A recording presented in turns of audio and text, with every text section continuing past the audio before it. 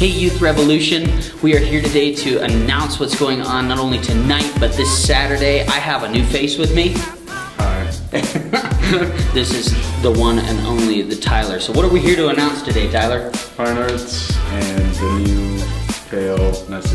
The new fail message. This is part two of hashtag fail. We're gonna be going over and covering some of the people in the Bible and some of the people just in life like Tim Tebow that have failed their way to some of their greatest successes. So you don't wanna miss it. Uh, stay in tune for that for later on in the service.